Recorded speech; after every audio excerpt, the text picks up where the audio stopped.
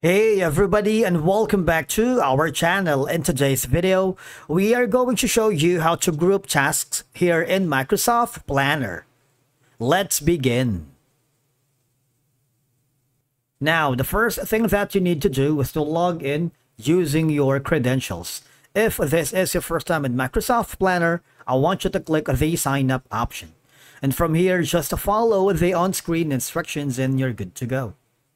In Microsoft Planner, you can group tasks in a few different ways to help you organize and manage your work more effectively. Okay, so I'm going to show you a lot of ways for you to be able to do it by using the bucket, due date, labels, or assigned to.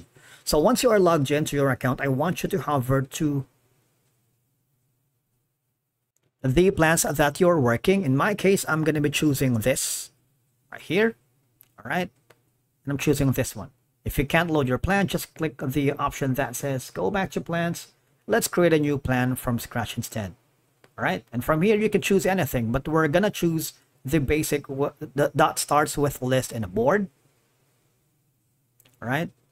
I'm to click on it. I'm to put in a name right here and click on create and wait for it to load the entire thing right here. For example, you wanted to add some tasks. Add some tasks right here and a lot more. All right add a new one say for example deep laughs all right so first things first.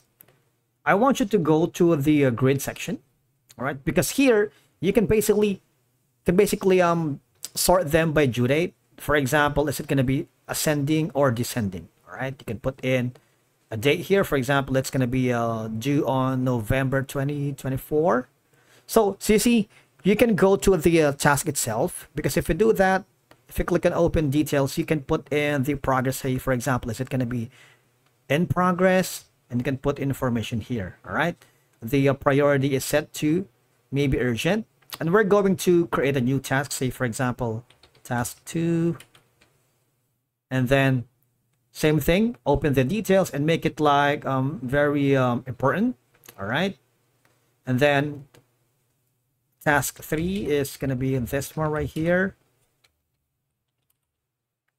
And of course, you can set again the priority to uh, maybe like um, low for now. And the last part is going to be task 4. And then the uh, priority is set to be like medium. Right, so you have like priority, important, low, medium. Now here you can basically check the progress from in progress to not started to completed. So you have all that information, all right? So see there's a lot. Now, another important thing that you can do is put in assignees here if you want it. And you can also put in the start date by checking on the descending or ascending. You can also add labels if you want. For example, you can put in red for um, very important. For urgent is something like a purple. Medium is something like um, maybe a light green. An add label, or I mean like low is going to be something like uh, like a teal. So these are one of the best ways for you to be able to organize your tasks here in Microsoft Planner. You can also add a bucket if you want right here. On the to-do, you can put in um, different buckets. You can rename this as well, all right? Each method helps you to organize your tasks based on specific criteria.